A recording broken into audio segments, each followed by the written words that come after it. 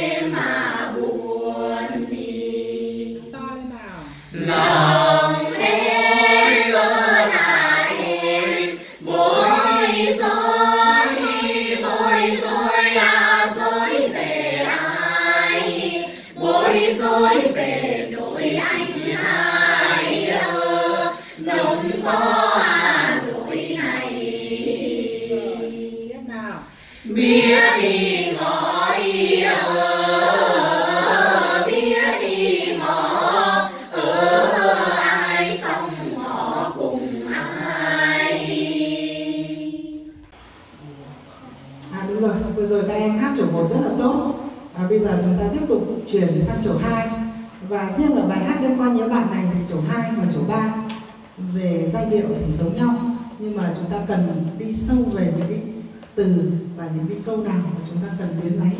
Bây giờ cô lại dạy các em từng câu một bắt đầu sang chiều hai nhé. Để mi hôm qua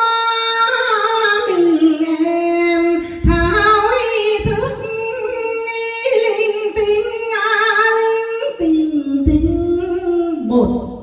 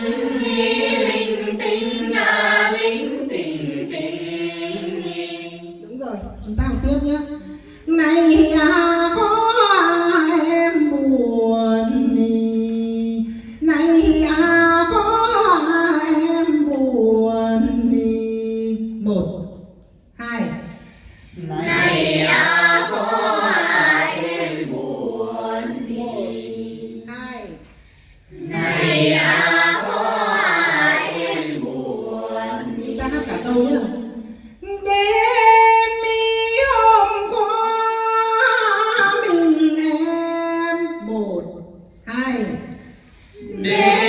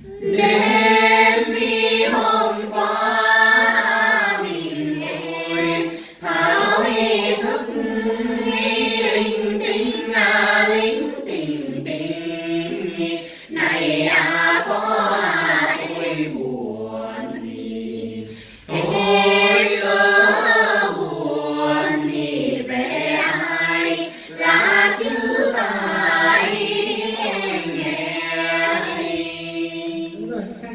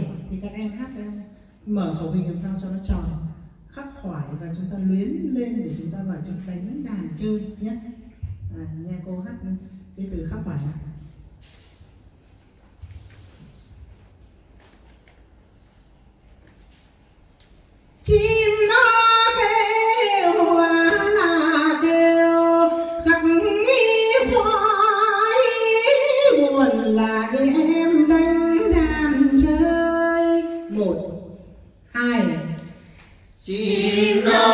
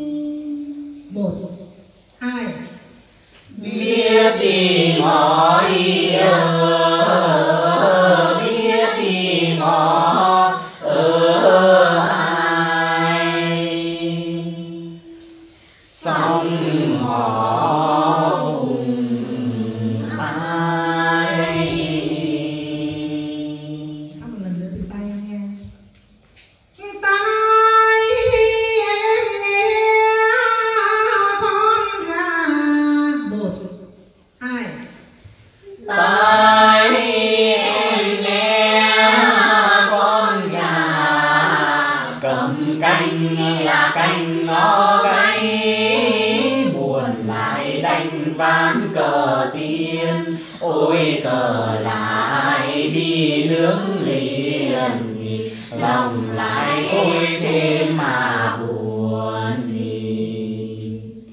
lòng